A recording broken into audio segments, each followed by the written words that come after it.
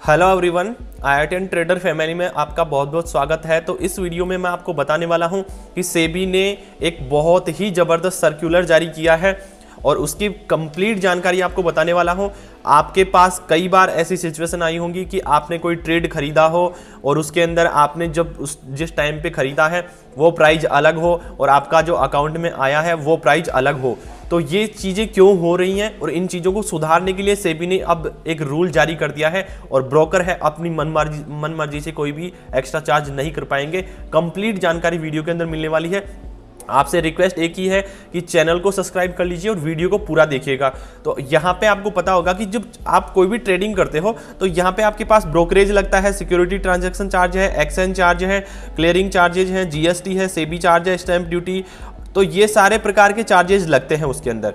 अब उसमें देखो कि जो ब्रोकरेज है वो तो होता है ब्रोकर का और बाकी जो ये अल, अलग चार्जेज हैं ये जाते हैं गवर्नमेंट के। लेकिन अब तक क्या हो रहा था कि क्लाइंट्स के पास में कई बार ये होता था कि जो ब्रोकर है मान लीजिए उसके अंदर आपने कोई सौदा लिया है तो उसमें क्या होता था कि ब्रोकर अपनी मन मर्ज़ी से कई बार आपके जो आपका आपने जो सौदा लिया उस टाइम पे उसका भाव कुछ अलग होता है और आपके पास में जब सेटल होके आता है तो उसका भाव कुछ अलग होता था। फिर उसके बाद में सिक्योरिटी ट्रांसैक्शन चार्जेज भी कई बार गलत तरीके से वसूल लिए जाते थे और गवर्नमेंट के चार्जेज भी हैं वो भी ब्रोकर है वो गलत तरीके से ले लेता था, था। क्योंकि वो जब सेटलमेंट करता है कॉन्ट्रैक्ट नोट बनाता है तो रात में क्योंकि आप ले वहाँ पे ही पेमेंट जमा होता है आपका। ब्रोकर का ही ज़िम्मेदारी होती है कि वो आपसे सारे चार्जेज ले। तो फिर लेने के बाद में वो आगे जमा करवाते थे। तो यहाँ पे वो ब्रोकर आपसे अलग चार्जेस लेकर के आगे गवर्नमेंट को अलग चार्ज देते थे। तो यहाँ से आपको लॉस हो रहा था। तो कई क्लाइंट्स ने क्या किया था कि सेबी के पास में शिकायत भी की थी और उनकी कहा था कि जो रेट तय की गई है, उनके मुकाबले ज़्यादा ब्रोकरेज वसूली करते हैं ब्रोकर हैं, और कई बार सरकारी जो चार्जेज होते हैं रेगुलेटर यानी सेबी के चार्जेज होते हैं एक्सचेंज चार्जेज होते हैं एसटीटी होती हैं, इनको भी ज़्यादा ले लिया जाता था। तो अब एक्सचेंज से बीत, ये जो चीज़ हो रही थी, कई साल से हो रही थी। तो इस चीज़ के ऊपर क्लाइंट्स हैं वो एक्सचेंज और सेबी से पिछले साल से ही बात कर रहे थे, और पिछले साल से ही सेबी सब चीज़ें सब चीज़ों को ध्यान में रख रही थी और गाइडलाइंस भी जारी कर रही थी। लेकिन अब आज क्या हुआ है लेटेस्ट पहले भी हो गया था, लेकिन आज इम्पोर्टेंट क्या हुआ है कि सेबी और एक्सचेंज ने आज एक फैसला लिया है और वो जो फैसला है, वो निवेशकों के हित में आया है। देखो, यहाँ पे क्या हो रहा था, ब्रोकरेज और बाकी चार्ज के अंदर ट्रांसपेरेंसी नहीं रखेगा अगर कोई ब्रोकर, यानी कि जो भी ब्रोकरेज लग रहा है, कितना ब्रोकरेज लग रहा है और कौन कौन से चार्जेज लग रहे हैं, वो आपको ब्रोकर, आपके बाइंग स्क्रीन जैसे ही आप बाइंग ऑर्डर जाते हो, चाहे आप वेब प्लोट प्लेटफॉर्म पे जाओ या फिर आपके मोबाइल एप्लीकेशन पे जाओ, जिस टाइम पे आप बाई करते हो, उस टाइम पे बाइंग करने से पहले ही बटन दबाने से पहले ही आपकी सारी चीज़ें कि इतना ब्रोकरेज लगेगा, इतना सेबी चार्जेज लगेगा, इतने अदर ट्रांसेक्शन चार्जेज लगेंगे, इतनी जीएसटी लगेगी, इतना एसटीटी लगेगा, सारी चीज़ें वहीं पे बाइंग करने से पहले ही आपको दिखा देगा तो आपको क्लियरली पता लग जाएगा कि कितना मेरा चार्जेस लगने वाला है।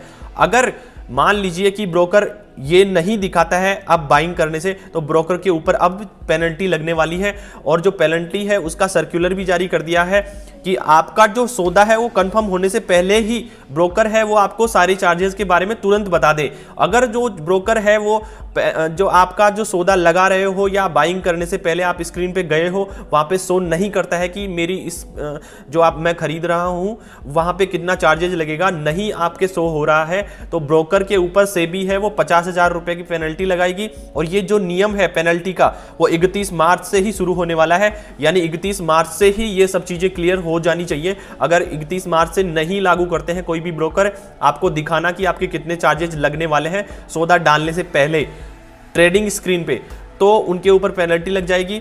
और इसके अंदर एक और चीज़ होने वाली कि सात दिन के अंदर कोई कंप्लायंस नहीं है तो नए क्लाइंट्स जोड़ने पर भी रोक लगा दी जाएगी। अगर मान लीजिए पेनल्टी तो लगा ही रहा है, जो एक्सचेंज है या सेबी है ब्रोकर के ऊपर, और फिर अगर मान लीजिए कि वो शो नहीं हो रहा है, सात दिन तक शो नहीं कर रहा है, क्योंकि उनके सिस्टम में गड़बड़ हो सकती है, और उनकी इन्फॉर्मेशन सेबी को या एक्सचेंज को नहीं दे रहा है कोई ब्रोकर तो यहाँ पे सेबी या एक्सचेंज है, उस ब्रोकर के सभी जो सेगमेंट हैं, यानी कि जो एफएनओ है, या फिर उनकी जो मान लीजिए कि कैरी फॉरवर्ड करते हैं, या इंट्राडे ट्रेडिंग है, या फिर वो नए क्लाइंट्स के अकाउंट ओपन करवाते हैं, सभी सुविधाएँ हैं, उनकी सस्पेंड कर दी जाएँगी, जब तक कि वो अपनी सिस्टम को सुधार ना लें, अपने सिस्टम के अंदर ये सब चीज़ें लगा ना लें। तो ये जो इन्फॉर्मेशन है, बहुत ही अच्छी होने वाली है, क्योंकि इसके अंदर आप जो सौदा ले रहे हो या कोई भी माल खरीद रहे हो, उसके खरीदने से पहले ही आपको सब चीज़ें पता लग जाएँगी कि मेरा इतना तो इसके अंदर पैसा लगने वाला है और इतना मेरे चार्जेज लगने वाले हैं। तो अब आपको क्लियरली पता लग जाएगा कि मेरे टोटल अमाउंट इतना कटने वाला है और इतना मेरे को है या नहीं है। तो आप अपने हिसाब से सौदा डाल सकते हो। तो ये बहुत बड़ी चीज़ निकल के सामने आ रही है और ये जो सभी प्रकार के ट्रेडर हैं या इन्वेस्टर हैं, उनके लिए भी बहुत सही चीज़ है। तो आशा करता हूँ ये इन्फॉर्मेशन आपके लिए बहुत ही अच्छी हुई है। और आपको ये इन्फॉर्मेशन आगे फ़ायदा भी देने वाली है। तो अगर आपने वीडियो को लाइक नहीं किया तो वीडियो को लाइक कर दीजिए और चैनल को सब्सक्राइब नहीं किया है तो चैनल को सब्सक्राइब कर लीजिए। और अगर आपने जीरोधा या एंजल ब्रोकिंग में अकाउंट नहीं है तो यहाँ पे डिस्क्रिप्शन में लिंक है। जाकर के लिंक से अकाउंट ओपन कीजिए और अपनी ट्रेडिंग की जर्नी की शुरुआत कीजिए। मिलते हैं नेक्स्ट वीडियो में। Thank you very much